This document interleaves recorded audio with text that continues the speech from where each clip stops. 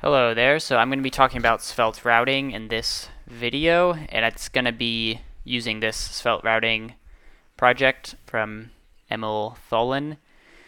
Um, you know, it's still gaining some traction, but assuming that it'll become the default of Svelte for Svelte routing, I'm going to go ahead and use it. Seems like it's good.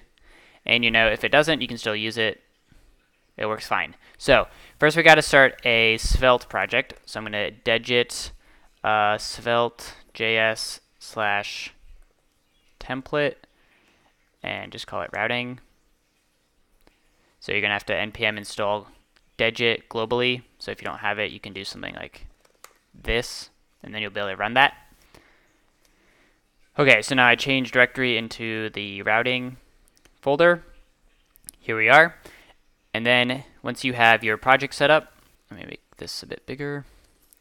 Then you can come here and install Svelte routing, like that. Okay, so that was installed. And then I'm going to code dot to open the project in Visual Studio Code. Okay, so here we are in source app.svelte. Okay, so usage, I'm going to copy and paste this in just as the example for app.svelte. Okay, and you're actually going to need to change. So I'm just going to have a few. I'll have home. Um, so this isn't quite right. So I'm going to make a folder called routes, and then inside I'll make um, home.svelte. I'll make a circles.svelte for my circles page and then a squares.svelte for my squares page. Okay, and then you're going to import it like normal. Import um, home from routes slash home.svelte.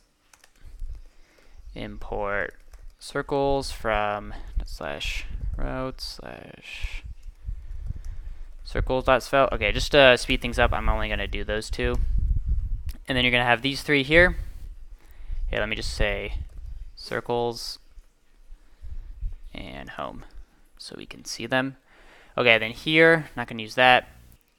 So there's going to be, this will be your nav bar at the top. You're going to have a home. You're going to have an about. So all these abouts I'm going to change to circle. Circles. And then these here, uh, blog, home. We're not going to have a blog for now, and we're not going to, yeah. Okay. There we go. So I'm going to come back here, npm run dev. Oh, sorry, I forgot to npm install everything. So you're supposed to npm i after you change directory into routing. I forgot to do that, so now it's all installing.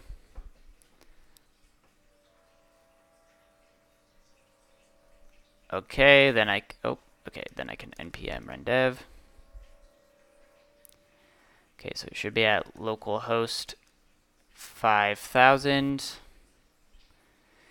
Okay, there we go. So we got home and then circles.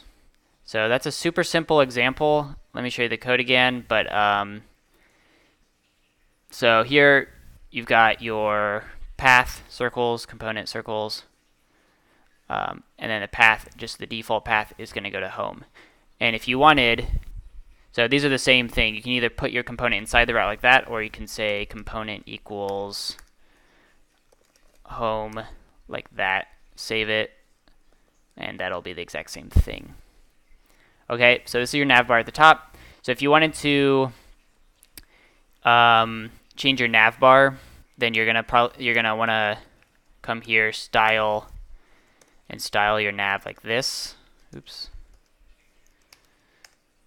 Uh, so if you want like a background color blue, color white, height 100 pixels, width 100%. Let's see if that works. Uh, there we go. you know, it doesn't look very good, but um, you can style it like that. Okay, and then you can change your home and your circles you know, you can add stuff so that it's not just this one thing there.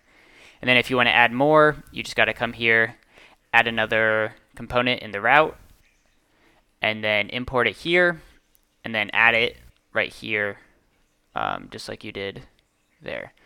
So, yep, that's the basics. Uh, hope that makes sense.